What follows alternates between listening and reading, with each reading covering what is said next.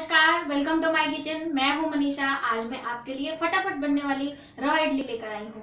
रवा इडली हम बनाएँगे बट गर्मियों का सीज़न शुरू हो रहा है। बच्चों की छुट्टियाँ भी हो गई हैं तो बच्चे दिन भर कुछ ना कुछ खाने की डिमांड करते हैं तो हम उनके लिए रवा इडली बनाएँगे बट थोड़ा सा उसमें बच्चों का ध्यान रखते हुए वेजिटेबल्स का भी यूज़ करेंगे। तो हम रवा इडली विद वेजिटेबल्स बनाएँगे।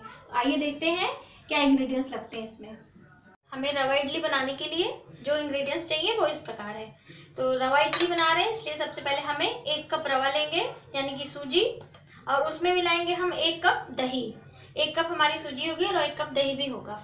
और उसके साथ हम वेजिटेबल्स मिक्स करेंगे। जैसे कि ये हमारी ये घिसी हुई गोभी है, हमने इसको कद्दूकस किया हुआ है और ये महीन बारीक हमने अपना पत्ता गोभी भी हमने काट के रखा हुआ है और एक छोटी सी प्याज हमने काटी है टेस्ट के लिए। और इसमें थोड़ा सा हम जिंजर ग्रेट करके रखे हैं हाफ़ इंच और एक छोटी सी मिर्ची है। बच्चों के लिए बना रहे हैं, इसलिए मिर्ची का ज़्यादा यूज़ हम नहीं कर रहे हैं। हाफ़ इंच एक ही छोटी सी मिर्ची है। अगर आप बच्चे बिल्कुल नहीं पसंद करते तो आप ना डालें। और नमक हम डालेंगे स्वाद अनुसार। और थोड़ा सा इडली तुरंत बनानी है तो इसलिए हम इसमें ये बेकिंग सोडा भी डालेंगे।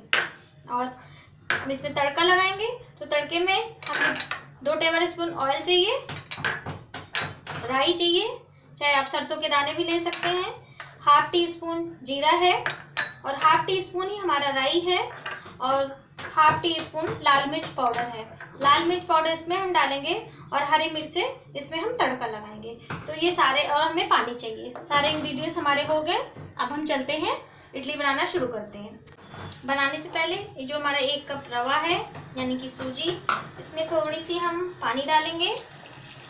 और पानी डाल के एक प्रकार से जैसे हम चावल धुलते हैं, इसको हम धो लेंगे हल्के से। ऊपर जो हमारी गंदगी होगी वो कभी कभी क्या है, छन्नी से नहीं निकलती है तो हम इसको ऐसे ऊपर से देखिए, इसकी जो गंदगी है, ऐसे निकल आएगी। इसको हम ऐसे सारा पानी इसका धीरे धीरे निकाल लेंगे ये हम हटा देंगे और हमारी ये सूजी है। अब इसमें हमें दही ऐड करना है तो दही के लिए हम मिलाएँगे। एक कप हमारा दही है। इसमें हम दही मिला देंगे। इसी में हमने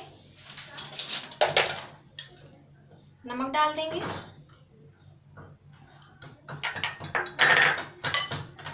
थोड़ी सी लाल मिर्च।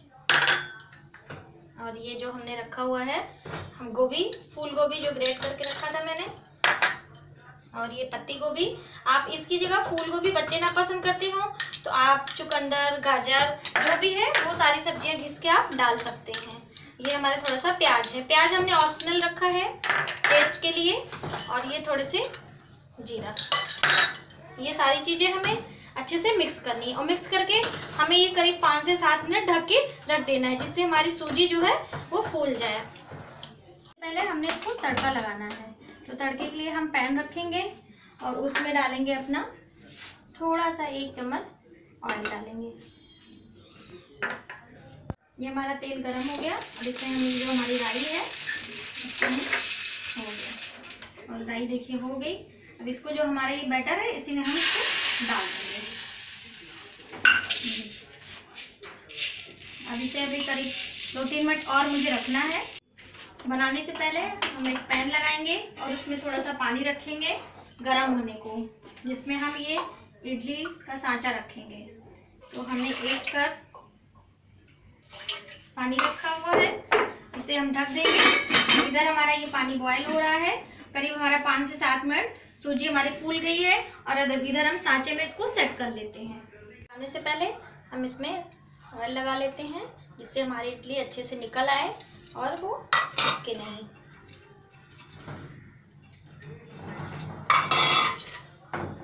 फटाफट लगाएँगे। ये हमने लगा के रख दिया। और जो हमारा ये बैटर है, अब इसमें हमने अभी ये हमारा जिंजर ग्रेट किया हुआ नहीं डाला था और मैंने हरी मिर्ची नहीं डाली थी। और मैंने ये जो सोडा बेकिंग सोडा, आप इसे बेकिंग सोडा या मीठा सोडा, जो भी आप बोलते हो, वही है। ये, इसको हम अच्छे से थोड़ा सा मिक्स कर लेंगे। चम्मच तो आप एक मिक्सर की सहायता ले सकते हैं और इसको अच्छे से फेंट सकते हैं। इससे हमारी इडलियाँ खूब अच्छी सॉफ्ट होंगी और स्पंजी बनेंगी। बच्चों को ये बहुत अच्छा लगता है। आप इसे एक बार घर में ज़रूर ट्राई करें। आपने बनाया होगा बट ये वेजिटेबल्स डाल के आप बनाइएगा। ये अच्छे से मिक्स हो गई। अब इसे हम अपनी, उसमें सेट कर लेते हैं। देखिए, हमारा पानी एकदम बॉयल हो रहा है। और ये जो हमने इडली का साँचा है इसमें आहिस्ता से आप केयरफुली डालेंगे, क्योंकि इसमें से हीट काफ़ी आ रही है और हम इसे ढक्कन लगा देंगे। अब करीब इसको पाँच मिनट तक हमें ऐसे बंद भाप में से पकाना है।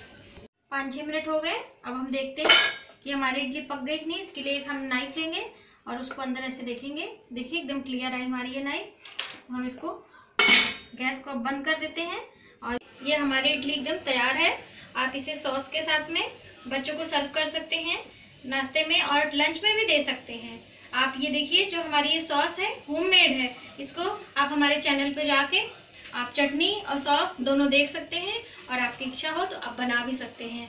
ये हमारी इडली रेडी है बट अभी इसी इडली को थोड़ी देर आप रूम टेम्परेचर पर रख दीजिएगा। उसके बाद मैं इसे आपको फ्राई करके स्नैक्स के रूप में भी खाना बताऊँगी। तो देखते हैं, वो भी कैसे लगती है। देखिए, हमने एक पैन लगाया है। उसमें करीब हमने एक डेढ़ चम्मच ऑयल डाला है। और इसमें हम ये अपना जो थोड़ा सा हाफ़ टी स्पून राई है, उसे डाल देंगे। और इधर साइड में हम ये थोड़ी सी जीरा डाल देंगे। और ये जो हम थोड़े से बड़ों के लिए बना रहे हैं तो थोड़े से लाल मिर्ची भी डाल देंगे। ये सारी चीज़ों को आपस में अच्छे से मिलाएँगे जो हमारी इडली है, थोड़ी सी ठंडी हो गई है, बहुत ही सॉफ्ट इडली बनी है, और इसको हम फ्राई करेंगे। आपको हमने एक भाप में इडली दिखाया, और थोड़ी सी हम ये स्नैक्स के रूप में फ्राई करके दिखाएँगे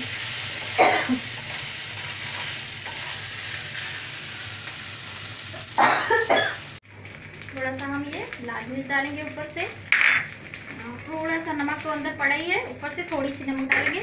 और ये ऊपर से हमने चाट मसाला डालना है। ये, थोड़ा चाट मसाला डालने से बहुत अच्छा टेस्ट आता है। और ये बिल्कुल हमारी भी भुन गई है। अब इसे हम प्लेट में निकाल लेंगे और एक चाय तैयार करेंगे। बस हमारी जो फ्राई इडली तैयार है विथ चाय। ये देखिए हमारी फ्राइड इडली तैयार एकदम बहुत अच्छी और हमने इसके साथ चाय भी बनाई है। आप इसको चाय के साथ स्नैक्स के रूप में बहुत अच्छा टेस्ट आता है। हमने इसमें चाट मसाला डाला है तो आप इसे स्टीम करके बनाइए, बच्चों को दीजिए, और उसके बाद जो बची रहे, उसको ठंडा करके गरम गरम आपने नहीं तलना है, क्योंकि गरम से वो इतनी सॉफ्ट होती है, आप इसे देख सकते हैं कितनी स्पंजी है। सॉफ्ट रहती है कि वो टूट जाएगी, इसलिए हम इसको ठंडा करके, उसके बाद हम इसे थोड़े से फ्राई करके, चाट मसाला, नमक वगैरह डाल के, इसे अच्छा बना के टेस्टी खाना है। और एक चीज़ आपको मैं बताना चाहती हूँ कि हमने शुरू में रवा को धोया था तो आप इसे ध्यान रखना है कि बहुत पतली आपकी दही ना हो। आप इसकी देख लीजिएगा थिकनेस, उसके बाद बनाइएगा। नहीं तो फिर वो इतना अच्छा स्पंज और सॉफ्टनेस नहीं आएगा। तो आप इसे ध्यान में रखते हुए अपने घर में ज़रूर बनाएँ एक बार इडली और खाएँ, लाइक करें, सब्सक्राइब करना ना भूलें। Thank you.